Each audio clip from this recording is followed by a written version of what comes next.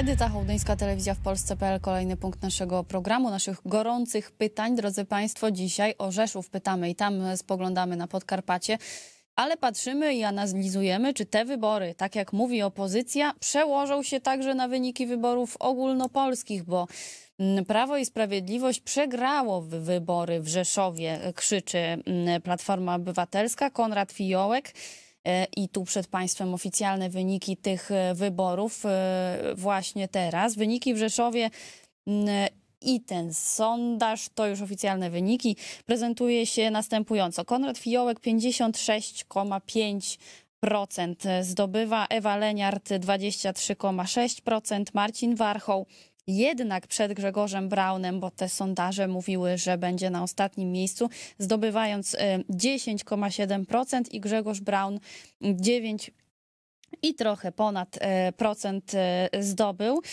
Uprawnionych do głosowania 148 263 e, osoby, natomiast oddanych głosów mm, już mówię ile. Przy frekwencji 54% dokładnie Konrad Fiołek uzyskał taki wynik. Na poszczególnych kandydatów 7 tysięcy ponad głosów zdobył Konrad Fiołek, Grzegorz mm, Braun, przepraszam, Konrad Fiołek zdobył 45 e, ponad tysięcy głosów, a Grzegorz Braun, czyli mm, osoba, która była na ostatnim miejscu, to 7 tysięcy głosów. Tak wyglądają wyniki wyborów, e, komentowane już bardzo szeroko, tak jak wspomniałam, przez opozycję. Triumf jest w zasadzie już e, ogłoszony, a my pytamy o przyczynę. Co tam się wydarzyło? Dlaczego prawica przegrała te wybory?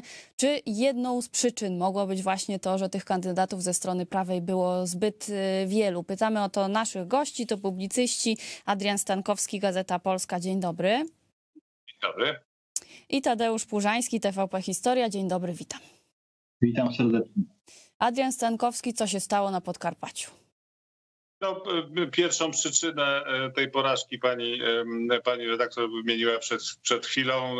Dwóch kandydatów to kompletnie nieczytelny albo właśnie bardzo czytelny sygnał do wyborców, że, no, że prawica jest zdezintegrowana. Druga rzecz to jest no, stała tendencja w dużych miastach, e, gdzie Prawo i Sprawiedliwość e, nigdy nie, nie miało dobrych wyników. No i trzecia, tutaj trzeba jasno powiedzieć, że E, że e, Prawo i Sprawiedliwość no, nie wypracowało dobrego modelu promocji kandydatów na, na te samorządowców właśnie e, w wielkich miastach. To zawsze jest, wydaje się, że Prawo i Sprawiedliwość i Prawica jest zaskoczona tymi wyborami. Takiego kandydata trzeba promować dużo, dużo wcześniej, przed samą elekcją. W tym wypadku to było oczywiście trudne, bo, bo, bo, to jest e, przed, bo to są przedterminowe wybory, ale ja mówię o ogólnej E, tendencji i kandydat e, po, powinien być e, z Rzeszowa, no bo to też jest taki element, że pan prezydent mhm. Konrad Fiołek był jedynym Rzeszowianinem w tym towarzystwie. Na to się jeszcze nałożyła kwestia poparcia przez poprzedniego prezydenta. To znowu jest zupełnie nieczytelny komunikat, bo przecież pan prezydent Ferenc był związany wcześniej z lewicą, a popiera mhm. pana ministra Warchoła, który no w, takim, w takim obrazie jest z takiej bardziej radykalnej e, prawicy, więc to coś no tutaj, to tutaj... Te, te, sygnały mhm.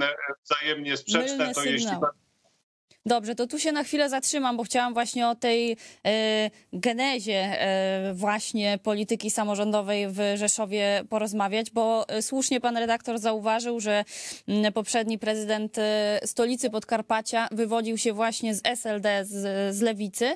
Zbigniew Kuźmiuk zaznaczał dzisiaj przed kilkoma minutami w naszym programie w rozmowie z nami, że tak naprawdę nie doszło do odbicia Rzeszowa, bo Rzeszów został w rękach Lewicy lewicy, czyli w rękach Konrada Fiołka, który również zdaniem europosła ma e, powiązania z lewicą.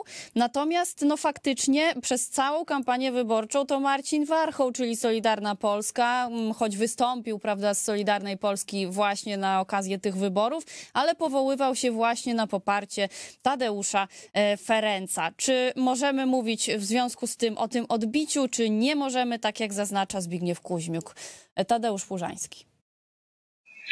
E, no rzeczywiście Rzeszów pozostaje w rękach lewicy i to tej lewicy postkomunistycznej de facto, bo Tadeusz Ferenc był, był jeszcze w PZP, że potem udawał niezależnego e, kandydata, ale, ale to tak właśnie często jest z tymi niezależnymi, że mają korzenie e, lewicowe, wręcz komunistyczne. A Konrad Fiołek był działaczem SLD, nawet stał na czele struktur SLD w Rzeszowie. No, no, trudno oddzielić SLD od PZPR-u, to jest przecież bezpośrednia e, kontynuacja e, partyjnej. Oczywiście pan Fiołek jest za młody, żeby, żeby działać w strukturach komunistycznych, ale działa, działał w strukturach postkomunistycznych ewidentnie. I jest to, jest to może szokujące dla naszych widzów, dla Polaków, że Podkarpacie, które jest e, ostoją i domeną prawicy, mhm. E, ma takie mocne wpływy lewicowe i że tam prezydent lewicowy właśnie będzie, będzie rządził przez kolejne lata, 18 lat pan, pan Ferenc, no ale rzeczywiście trzeba wziąć poprawkę Wychodzi na to, na to, że Podkarpacie to jedno, a Rzeszów to drugie, tak? Czyli stolica Podkarpacia dokonuje innych wyborów niż całe województwo. Dokładnie, to jest to, o czym mówił Adrian Stankowski. To jest różnica między terenem, prowincją a miastem, tak? I niestety jest tak, że niestety dla Zjednoczonej Prawicy, że w miastach cieszy się mniejszym poparciem.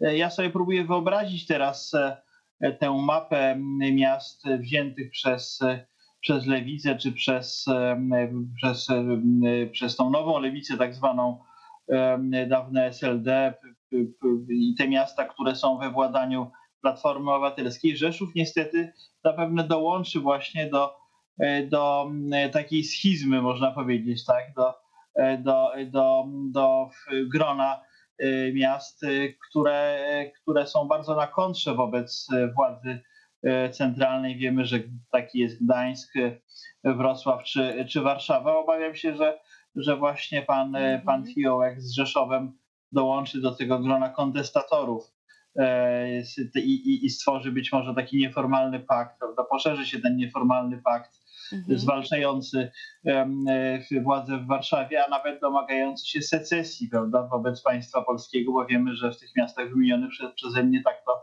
właśnie e, wygląda. A prawica poległa dla, dlatego, że rzeczywiście była za bardzo rozdrobniona. E, elektorat chyba nie zrozumiał, dlaczego tak, tak wielu jest kandydatów po tej stronie sceny politycznej i tego przekazania głosu przez pana Ferenca na pana ministra Warchoła już, już zupełnie. E, no i pani, pani Leniart, która była osadzona mocno w strukturach rzeszowskich, e, ostatnio wojewoda podkarpacki, wcześniej pracownik i nawet dyrektor oddziału Rzeszowskiego Instytutu Pamięci Narodowej, no mhm. jakoś się nie przebiła z tym swoim przekazem, ale pewnie właśnie dlatego, że ten przekaz był za bardzo rozdrobnione, prawica no była właśnie. To y, pytanie brzmi następująco. Czy Prawo i Sprawiedliwość trochę odpuściło Rzeszów, nie zawalczyło zby, y, właśnie zbyt zaciekle, mocno o stolicę Podkarpacia? No bo y, samo to, że wystawiono dwóch kandydatów tak naprawdę ze Zjednoczonej Prawicy, że był jeszcze Grzegorz Braun, też świadczy o tym, no nie wiem, być może właśnie odpuszczeniu tematu, prawda? To jest jedna e, z hipotez. No a dziś słyszymy, Marek Suski komentuje w gorzkich słowach, головах na przykład, e, że to jest trochę klęska prawicy, bo trzech kandydatów toczyło bratobójczy bój. No a opozycja zdołała postawić wszystko na jedną kartę, na jednego kandydata, na Konrada Fiołka i ta kampania się im po prostu udała, powiodła. Mm, e, jak to wygląda? Czy tak naprawdę można było to przewidzieć dawno temu, że właśnie w ten sposób się to zakończy? No i też można było chyba przewidzieć to, w jaki sposób opozycja zareaguje, czyli właśnie odtrąbi swój sukces, powie, że po Rzeszowie przyjdzie kolej na kolejne miasta, że będzie odbicie całej Polski i że tak teraz będą wyglądały ka każde kolejne wybory. E, czy tutaj opozycja może mieć rację? Nie, nie, nie. To jest oczywista przesada, bo dzisiaj opozycja e, przez wszystkie przypadki odmienia przełom, który jest oczywiście przełomowy i będzie przełomem i tak dalej, i tak dalej. E, wyciąganie z, z wyników tych wyborów wniosków ogólnopolskich jest po prostu niemądre i, i jest po prostu czy, czystą fantazją. Ta opozycja znaczy wynik wyborów moim zdaniem był przesądzony, bo to jest w wielkich miastach, tak jak w Warszawie, no ja ze smutkiem to konstatuję jako warszawiak, że no wielu ludzi, którzy mieszkają w Warszawie wychodzą z założenia, że będę parkował nawet w Bydgoszczy, ale na Pisiora nie, E, nie zagłosuje. To jest niestety taki, taki paradygmat myślenia. Natomiast tutaj opozycja e, wbrew pozorom odniosła troszkę pyrrusowe zwycięstwo. Bo po pierwsze, na przykład dla Szymona Hołowni, to ja to oceniam, to, to wejście do tego frontu jedności narodu e, zjednoczonej opozycji jako po prostu błąd, bo e, Szymon Hołownia ma, ma szansę e, rozwijać swój ruch pod warunkiem, że będzie się czymś różnił od Platformy Obywatelskiej. Tutaj pokazał, że nie różni się niczym. E, dla Zjednoczonej Prawicy to jest też e, te, te, te wybory, wynik tych wyborów jest o tyle korzystny, że troszkę może ukróci mocarstwowe takie myślenie Solidarnej Polski, przywróci myślenie o, e, o tym, że Zjednoczona Prawica musi być zjednoczona, jeżeli chce e, zwyciężać, jeżeli chce E, e, jeśli chce zmieniać Polskę. E, no i jeszcze ostatnia kwestia, bo te, te, wybory, no zdaje się, że opozycja nie kwestionuje, że były to wybory demokratyczne a tym samym cała ta narracja o tym, że demokracja w Polsce powraca, jak nawet pan e, prezydent Fiołek raził, raczył się e, wyrazić, e, no, po prostu jest śmieszna i, i, i niemądra i, i, i to będzie miało pewne skutki na przyszłość. Mhm. A jakie skutki dla politycznej kariery Marcina Warchoła możemy teraz przewidywać? No bo tak naprawdę porzucił karierę w Warszawie dla e, odbicia Rzeszowa, co się mu nie powiodło. Co teraz? Tadeusz Płużański, jak sądzi? E, no cóż, no Marcin Warchoł ma rzeczywiście problem. E, wydaje mi się, że jako wiceminister sprawiedliwości dobrze pełnił swoją funkcję miał jednoznaczne, ma jednoznaczne poglądy mm, antykomunistyczne, bo, bo to akurat wiem, bo, bo też no rozmawiałem. Ważne dla redaktora, tak. Z Marcinem Warchołem na ten temat. Także, także no w dzisiejszym świecie jednak z no, takim zlewaszałem, użyję takiego słowa, to jest dosyć, dosyć, dosyć istotne, ale no, musiał wybrać. Nie wiem, czy wybrał dobrze. E, wydaje mi się, że zdawał sobie sprawę z tego, że szans wielkich nie ma w takiej jednak dosyć mocnej mm, e, stawce e, i bez właściwie większego zaplecza organizacyjno-finansowego.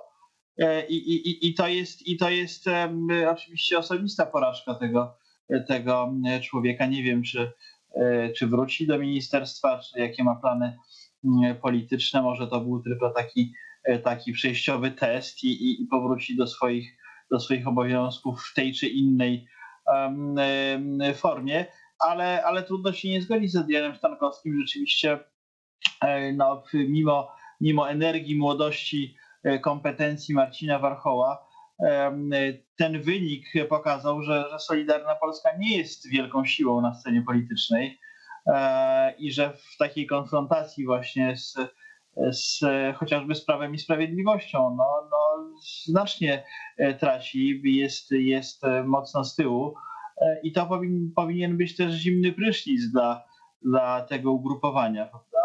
To był taki test, prawda? na ile jesteśmy samodzielnie zdolni cokolwiek e, ugrać. No i tutaj polegli, prawda, w, w właśnie w, wobec tej, tej całej e, silnej stawki, również właśnie pani Ewy e, Leniart.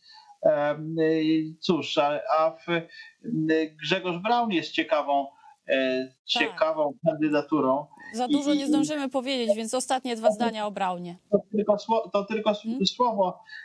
Ja ceniłem Grzegorza Brauna jako dokumentalistę uważam, że odkąd wszedł w politykę, no to, no to, to, to, to nie, nie najlepiej to wygląda.